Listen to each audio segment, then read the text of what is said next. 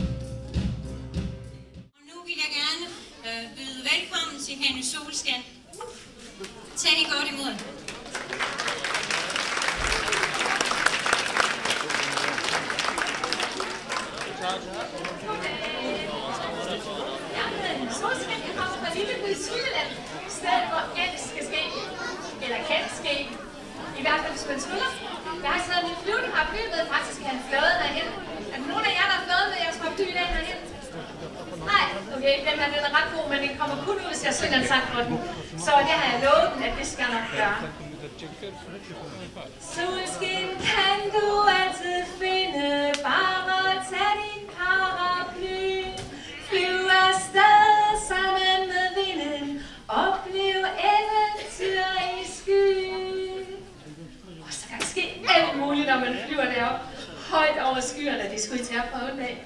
Det er vildt fedt. Men ej, jeg må hellere slå den sammen, for jeg skal ikke flyve endnu. Først skal vi trylle lidt. Og vi skal også høre en historie, en lille historie. Og jeg har faktisk sådan lyst til at øh, få en til at hjælpe mig. Men jeg stiller lige den her over. Sådan. Og jeg skal bruge en, som er 12 år. Og det skal være en, er lige præcis 12 år. Og der skal være sådan en orange lynlås foran. Jeg ved ikke, om der er nogen, der er 12 år lige her.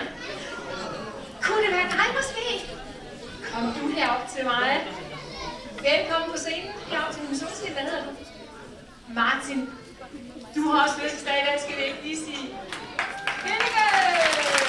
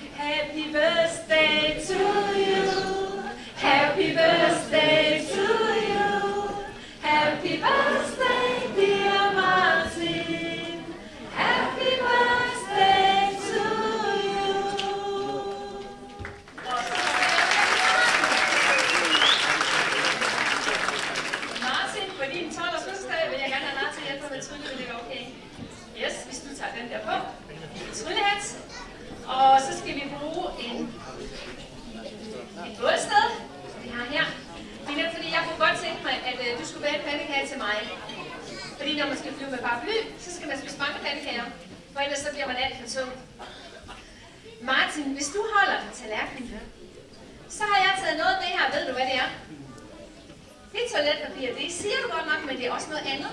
Det er faktisk billetter til endestationen. Ja, og så nogen skal vi bruge til at fyre op med. Vi skal også bruge en tryllestav. Har du taget en tryllestav med? Nej, ved du hvad, så er det rigtig heldigt, at jeg har en lige herovre, som venter på at blive brugt.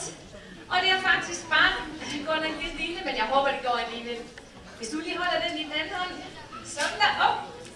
Og, se han er allerede begyndt at trylle, inden vi starter. Sejt. Sådan. Nu skal du se her. Vi skal også bruge et fjer. Vil du holde den sammen med tallerkenen? Så putter vi nemlig lige nogle af de her i. Vi tager en billet til Ballerup. Og så tager vi en billet til Bagsvær. Og en billet til Tarm. Ja. Og så er vi klar til at fyre op. Er du klar? Det er jeg også. Og ved du hvad? Jeg tror faktisk på en måde, at vi skulle gå over til vi bor herovre. Vil det være okay for dig? At vi stiller os herover? Fordi at, øh, det kan godt blive lidt varmt, så jeg har det mest trygt med, at vi er her, sådan at det går godt det hele. Men jeg synes også, skal vi ikke bare lige have fjern på os?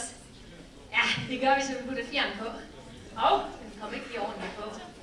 Whoop! Hold op, det var godt nok magisk. Det er nok, fordi han har fødselsdag.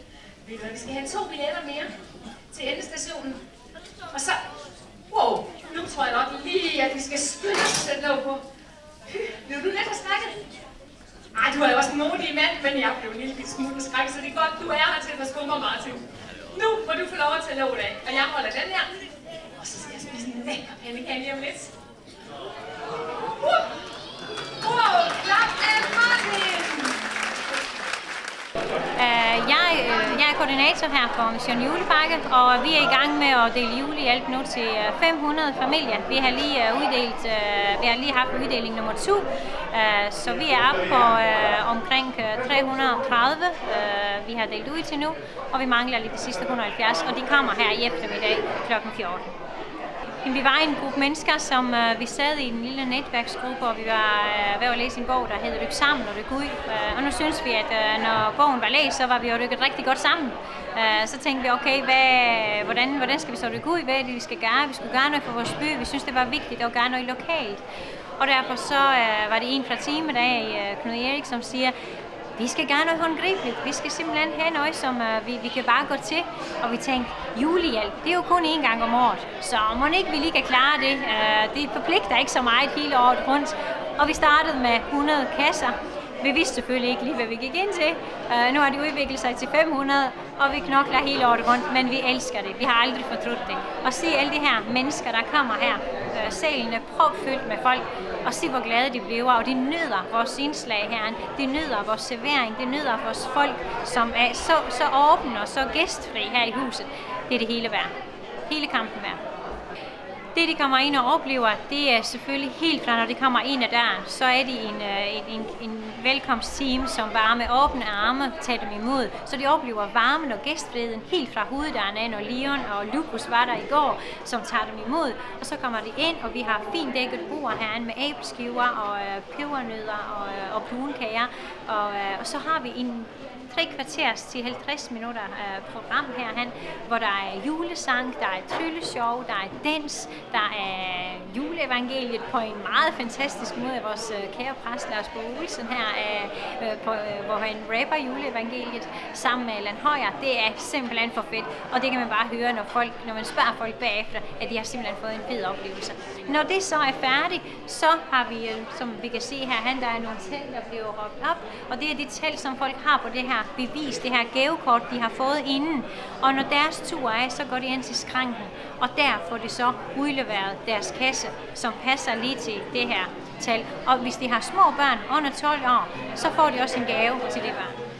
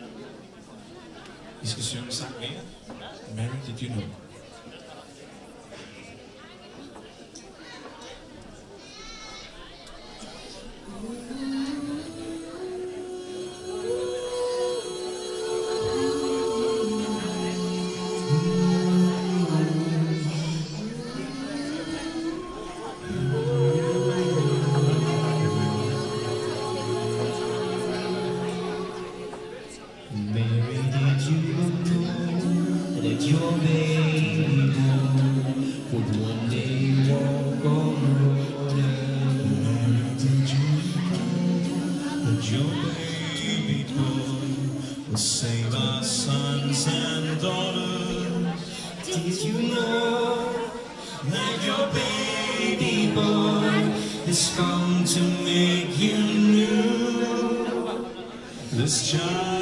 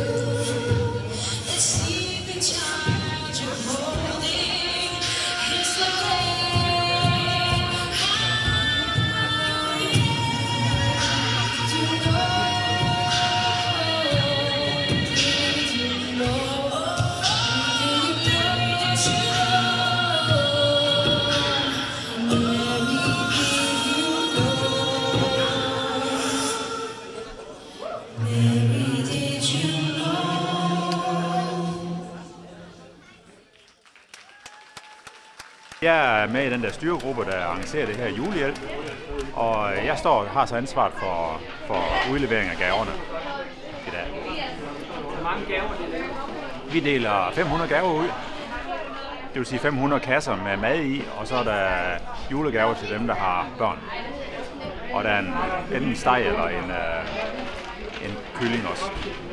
Processen er jo sådan, at vi øh, starter med at evaluere sidste år i januar, og så kører vi ellers på øh, med møder en gang om måneden, hvor vi begynder at, forberede udleveringen i december måned. Når vi kommer til, øh, til øh, hvad her det, når vi kommer til, til sommerferien, så kører vi på med, med møder hver 14. dag. Og så, når vi kommer tættere på her, så er det møder en gang om ugen. Altså, vi er, vi er otte i, i selve styregruppen, og så er der vel en, øh, en 800 frivillige fra kirken sådan en dag her, som hjælper. Tusind tak skal du have. Du er min ven. Og ved du hvad, fordi du er min ven, kunne du så ikke lige komme op og hjælpe mig med en trylle? Altså bare en trylleven. Der er ikke noget i anden, bare en trylleven. Hvis du stiller dig med trylleland. Goddag, hvad hedder du? Ja, Benjamin. Pænt goddag. Hvor mange år er du? 8 år. Rigtig flot. Du får en tryllehat på. Og så skal jeg lige høre, er du stærk? Ja, siger han, godt. Så vil jeg nemlig gerne have dig til at holde en tryllestav, den er her, og det er min oldefar, så du må love, at den passer rigtig godt på den. Er det okay? Benjamin, hvis du holder den, så er vi klar til at trylle. Lige præcis det. Øh, du var godt nok stærk, du sagde det også. Okay, det er min egen skyld, du sagde, at du var stærk, ikke også? Jeg tager lige den. Jeg har faktisk også en, min onkels har jeg også. Den er lige her. Op. Så tager vi bare onkel, fordi den er også sikkert rigtig god, den her. Tror ikke, den er god? Ja, selv den nede bagved, så tror jeg, den er god. Jeg tror lige, vi tager den anden hånd, fordi du var meget, du var meget stærk i den højre, så vi tager lidt let. Og så passer du rigtig godt på. Og så er vi klar til at trylle, Benjamin. Nej! Benjamin, er din far med her? Er din mor med? Eller hvem kender du? Hvor sidder din mor? Prøv lige vinke til mor. Ja, der var mor. Hej mor. Hej. Har du mange penge med? Ej, det bliver lidt dyrt i tryllestave det her. Ej, helt roligt, det er jul, så du skal ikke være ked af det. Du skal bare være rigtig stolt over, at du har en sej og en stærk søn. For det er han. Give me five. Yes. Yes. Og det er med. Så synes jeg da godt nok lige, at nu får du lov at låne mit yndlings. Okay? Så hvis du sagde at du skulle holde. Du står bare og tryller hele tiden. Tag lige den der. Eller vil du hellere på lunden, den der. Godt, du får lov at låne den der. Så skal jeg se, har du en tryllemus med? Nej, det har jeg. Den ligger lige øh, her. Dut, dut, dut, dut. Og hernede i min tryllepose, jeg har to tørklæder. Vil du tage den? Og så kunne jeg godt tænke mig, hvis du kunne putte den ned i den her pose. Og at du så kan sige en trylleremse. Okay? Dut, dut, dut. Og hvor du... ja, skal man ikke sige hos først? Okay, så du tager det op. Er det meget hurtigt? Okay. Jeg tror, at lige han har tryllet rødt og grønt om til to tørklæder. Merry Christmas. Så den Benjamin kæmpe stor hånd til Benjamin. Yes. Tusind tak. Nu er jeg sikker på, at det bliver en god jul i år. Og hvis du står lige der et øjeblik nu, så har jeg faktisk taget en lille bitte gave med til dig. Jeg har taget et billede. Værsgo.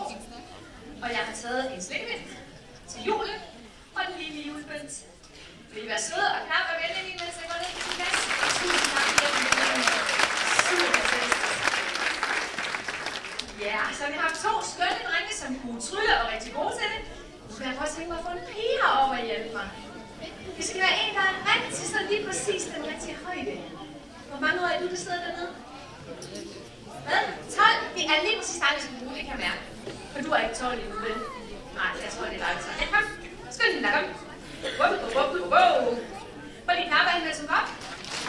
Yes. Hvad har vi noget trille af for dig? Hvad hedder du? Yes. Goddag, Josefine. Har du tullet før? Og på skolen. Okay, vi tager simpelthen tur til. Josefine, jeg har taget min tørklæder med, den må du holde i den anden hånd. De er faktisk her. Alle farver. Vil du holde fast i dem? Ja.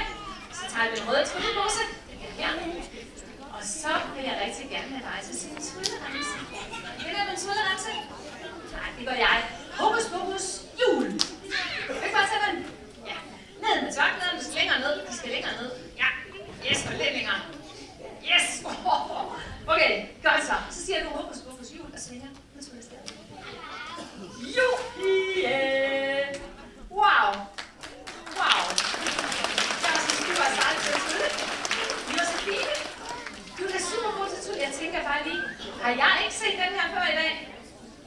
Ligner den ikke noget, vi har set før i dag? Paraply. Lad mig lige tjekke min paraply, fordi jeg tror, der er sket noget magisk. Jeg tror faktisk, du har tryllet.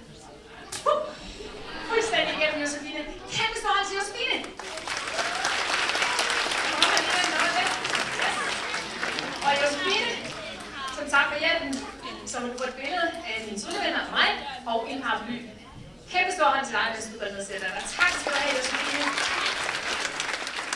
For os her i Åben Kirke det, giver det bare så meget mening at være involveret i Mission Julepakke. Her får kirken på en eller anden måde krop. Her kan vi mærke, at vi kommer i kontakt med mennesker fra en ganske almindelig hverdag. Et liv, som for mange ikke hænger særlig godt sammen. Og de har ikke den mulighed for at få en god jul, som mange af os andre måske kan skabe det at hjælpe dem og gøre en forskel ind i deres liv, det er så meningsfyldt. Og det fylder mig med stor glæde, at vi kan være en del af det her også i den her weekend. Det her det er en af landets absolut, absolut største uddelinger af julehjælp, og det er kun blevet muligt, fordi der er så mange frivillige og så mange virksomheder og sponsorer, som har indvildet i at gøre det til en, en virkelighed og støtte dem med det, de nu kunne støtte dem med. Det er vi bare super taknemmelige for. Jeg har så god dag indtil nu.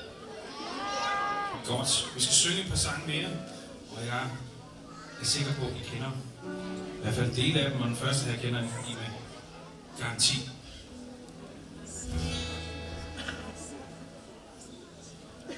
And so this is Christmas. What have we done? Another year.